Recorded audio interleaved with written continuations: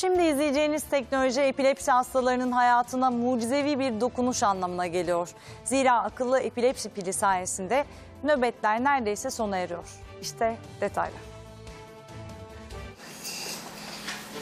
Kablo böyle aşağıya doğru geliyor. Akıllı epilepsi pili sayesinde artık nöbet geçirmiyor. Sağlıklı insanlar gibi yaşamına rahatça devam edebiliyor. Pilin özelliği şu, hastanın nöbetinin geleceğini anlayan bir sistemdir. Nöbetlerim gece uykuda yakalıyordu beni. Pil takılalı hiç nöbet geçirmedim. Beknur 26 yaşında ve 22 yıldır epilepsi nöbetleri geçiriyor. Hem de haftada 2-3 kere.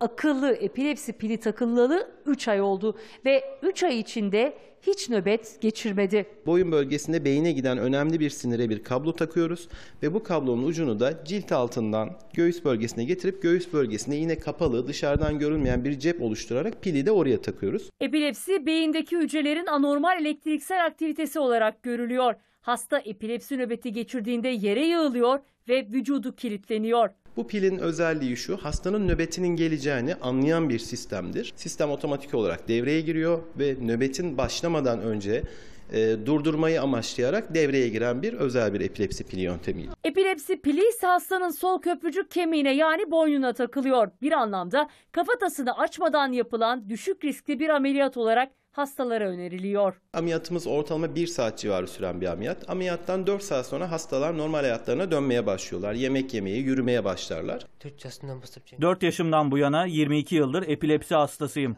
3 aydır nöbet geçirmedim. Akıllı epilepsi pilinin etkisini gösterebilmesi içinse epilepsi ilacıyla birlikte kullanılması gerekiyor.